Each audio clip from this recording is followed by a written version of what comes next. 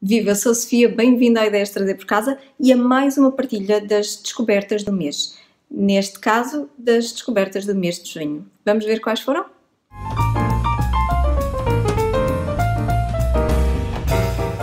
Este mês as descobertas foram muito pouquinhas, que eu andei muito de um lado para o outro, zunga zunga, feito abelhinha trabalhadora ou formiguinha ou qualquer coisa do género. Então só lhe trago três canais e um produto e vou começar por aí.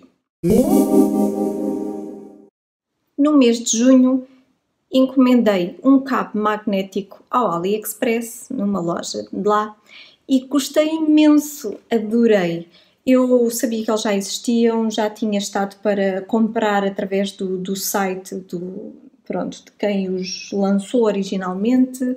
Se eu não me engano, foi um, um projeto Kickstarter, algo assim. Uh, mas os portes eram. Pronto. E acabei por procurar no AliExpress e encontrei fantástico. Ele é muito, muito fixe. É assim uma malha metálica e depois nós é fantástico, é só fazer isto. fantástico.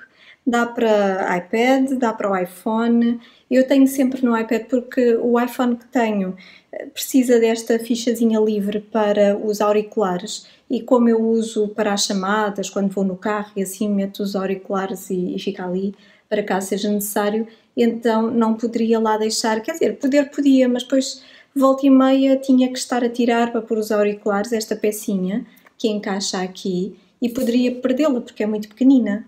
Então uh, decidi deixá-lo no meu iPad. Depois é só fazer isto, quando é para pôr a carregar, porque é o delírio total andar ali no escuro a tentar encontrar o buraquinho. Então, este produto é fantástico. Recomendo. Quanto aos canais do YouTube, Neste mês, daqueles que eu me lembro, eu passei por mais. Há um ou outro que provavelmente trarei aqui num outro momento, mas eh, agora assim, dos que me lembro que subscrevi, foram três. Vou começar pelo canal do Eldney Calls.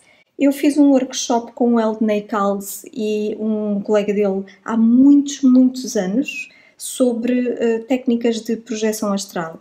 E tropecei assim sem querer no canal dele então uh, subscrevi e tenho andado a ver os vídeos. Ele tem aqui, diz aqui o quê? Sou o Eldney Kals, das lendas esotéricas, sou terapeuta holístico e transpessoal, coach, dirigente espiritual, médium e tem mais qualquer coisa, formador em várias técnicas de desenvolvimento espiritual, consciencial e humano, por aí adiante. E tem vídeos sobre coaching mediúnico, pelos vistos é algo que ele facilita e basicamente é isto, não é? Porque ainda não tem muitos vídeos, o canal é recente. Então, se gosta destas áreas, espreite o canal do Eldner, que é capaz de gostar das partilhas dele. Um outro canal foi o do Peter Liu e mais um canal que eu adorei e passei a subscrever. A formação do Peter Liu é em uh, medicina tradicional chinesa, não é?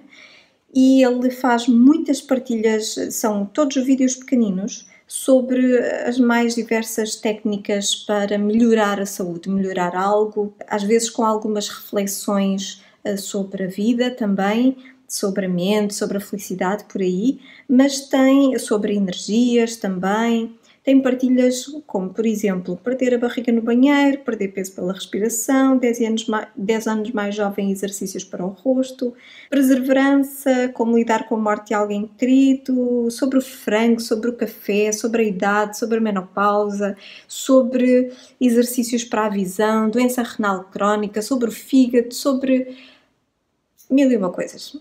Talvez não sejam mil e um vídeos, mas são muitos vídeos porque ele partilha Uh, eu já não sei qual é a frequência, mas ele partilha muito frequentemente e os temas são todos muito interessantes e úteis para a nossa saúde e o nosso bem-estar. Então recomendo também uma saltada ao canal do Peter Liu.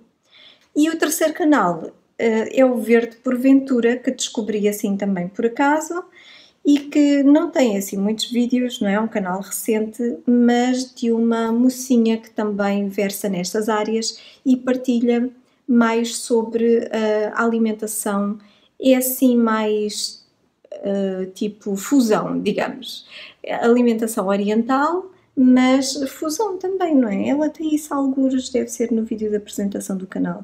Mas tem aqui sumo ou sopa, sopa fria de abóbora, cenoura e abacaxi, leite de caju, trufas de abóbora e alfarroba, puré de abóbora e gengibre, o, o bom do leite, sopa feijão mungo, bolachas de trigo sarraceno, tang yuan de casca de banana, algo assim do género. Ser vegetariano na China, o que anda a tramar, ativismo, receitas, ideias, enfim. Uh, são interessantes, ela já não publica há, uns, há seis meses, o que é uma pena. Eu subscrevi na mesma para ser notificada caso ela faça uma publicação, para não me passar ao lado.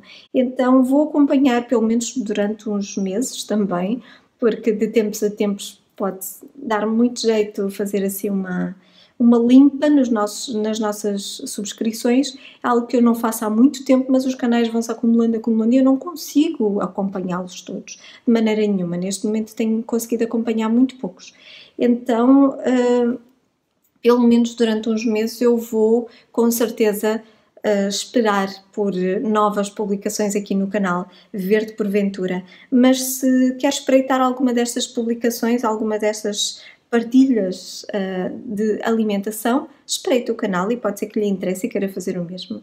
E pronto, estas foram uh, todas as descobertas que trago aqui para partilhar consigo no mês de junho.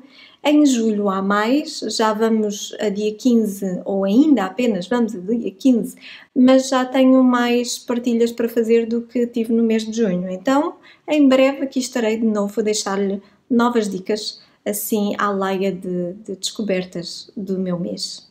Qual foi a sua descoberta preferida do mês de junho? Deixa abaixo nos comentários. Vamos continuar a conversa? E se gostou, olha, deixa um gosto. Por hoje é só. Um bom domingo. Terça-feira cá estaremos para mais uma partilha de destralhe ou sobre minimalismo de alguma forma. Eu estou a pensar trazer mais um bocadinho de destralhe, mas vamos ver se consigo ainda destralhar mais alguma coisa. Por hoje é só. Até breve. Tenha um dia feliz.